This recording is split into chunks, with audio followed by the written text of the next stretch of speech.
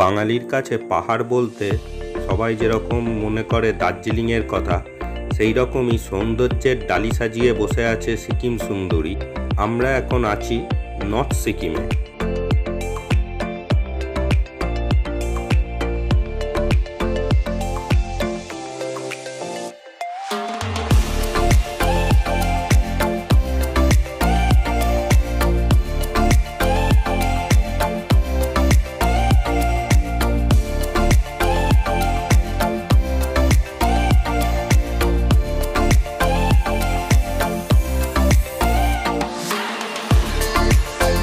আমরা চলেছি জিরো পয়েন্টের দিকে। চুং থেকে সকাল সাতটায় ব্রেকফাস্ট সেরে আমরা বেরিয়ে পড়লাম এই জিরো পয়েন্টের উদ্দেশ্যে।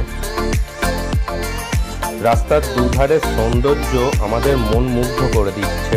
যতই এগোচ্ছি, ততই যেন সৌন্দর্য আমাদের ক্যামেরায় বন্দি হওয়ার আগেই মনের খাতায় বন্দি হয়ে যাচ্ছে।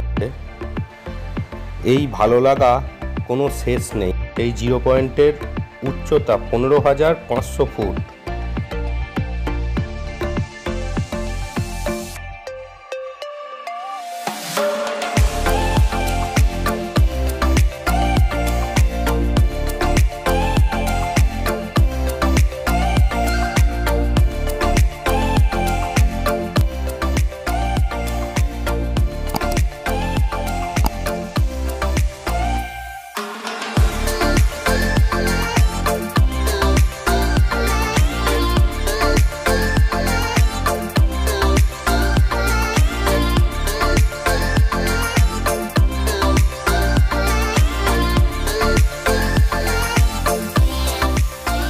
বরফে ঢাকা রাস্তা পেরিয়ে আমরা পৌঁছে গেছি জিরো পয়েন্টে। এই জিরো পয়েন্ট হলো চীনের বর্ডার। এখানে সবসময়ই বরফ থাকে। এই জিরো পয়েন্টের উচ্চতা একটু বেশি হওয়ার কারণে এখানে অক্সিজেন মাত্রা একটু কম থাকে। তাই শ্বাসকষ্ট হওয়ার সম্ভাবনা অনেক বেশি।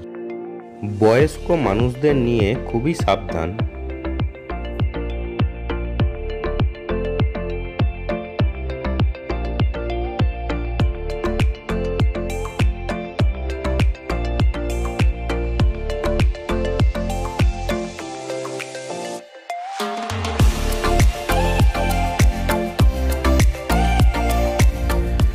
আগের বরফ টপকে কোনো গাড়ি আসতে পারিনি।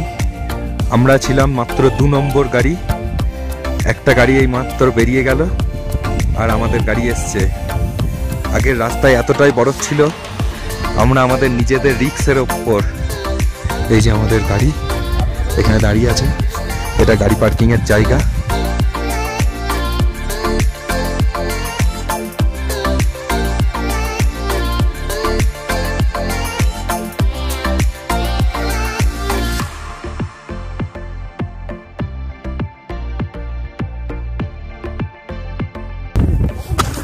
এখানে পুরোটাই ডিপ আছে। এই যে সামনেটাই জল বয়ে যাচ্ছে।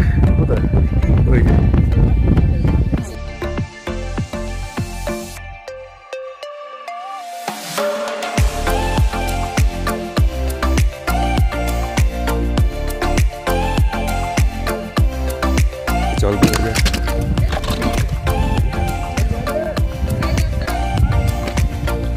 এই জল বয়ে যাচ্ছে। এই যে তিস্তার জল বয়ে যাচ্ছে এখান দিয়ে, পুরোটাই বরফ। হ্যাঁ আমরা এই বরফে বরফে এখান দিয়ে যাব। জানুয়ারি থেকে এপ্রিল, মে পর্যন্ত এই জিরো পয়েন্টে প্রচুর পরিমাণ বরফ পাওয়া যায়।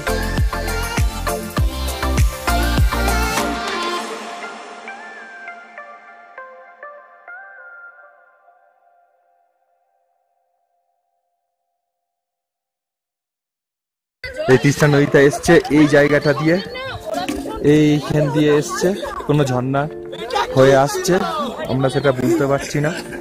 এই হচ্ছে চারদিকের পরিবেশ। চমচমে রোদ, পরিষ্কার আকাশ, এই জল বয়ে যাচ্ছে খুন করে, বরফের তলা দিয়ে দিয়ে। একদম বরফ। আমি অনেকখানি কাছে নিয়ে যাচ্ছি। সেটা দেখানোর চেষ্টা করছি। পুরো চারধারে বরফ ভেতর দিয়ে জল বয়ে যাচ্ছে বরফের তলা দিয়ে। আবার একজন পড়েছে